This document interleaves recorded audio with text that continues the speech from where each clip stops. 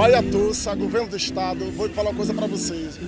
Que presente vocês me deram. Em um momento tão importante também na minha vida, que é o momento né, da carreira solo, né, que é um recomeço, e vocês reconheceram né, que o preto aqui realmente ele tem, ele tem essa capacidade realmente de sair no carnaval né, de Salvador. Sai do chão, vai e já noite diz. O